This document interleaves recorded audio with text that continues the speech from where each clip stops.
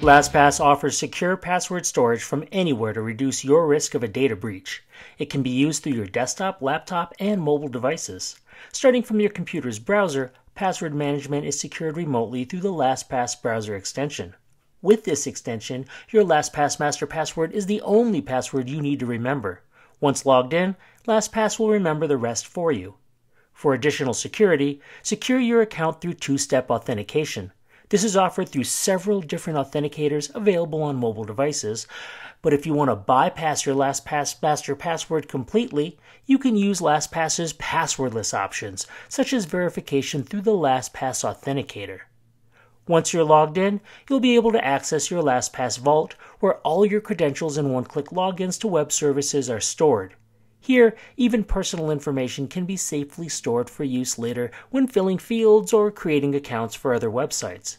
Information can be manually added and edited here as necessary, or you can use sites and passwords in your vault to go directly to a site where your credentials are added automatically. If you have the password already stored in your vault, you can also use the browser extension to search for it and then launch the site directly you'll be taken to that site where, like before, your stored credentials will automatically log you in. If you've yet to store a password for any site, you can do so when logging into your site or when first creating an account for a website. When creating an account or updating a password, this is the best time to use the LastPass password generator customize the settings as needed to match the password requirements, and then regenerate the password until you have one you like to fill into the field.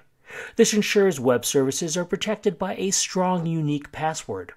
When everything is set up on the site, LastPass will ask if you wish to save the password for future use. Then you can always access it again from your vault. If you need to share this password with someone else, you can do so back in your vault. Just locate the site from the list and use the share icon. Locate the person's name from the dropdown or type it in. Once it's been entered, you can also choose if the person should be able to view the password. Keep in mind, while all this has been shown to you via a browser, LastPass works everywhere. Your vault is locally cached with real time synchronization between desktops, laptops, mobile, and web.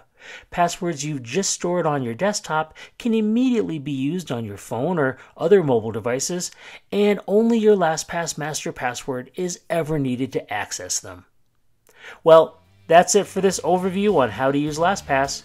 If you'd like to learn more, please check out support.lastpass.com.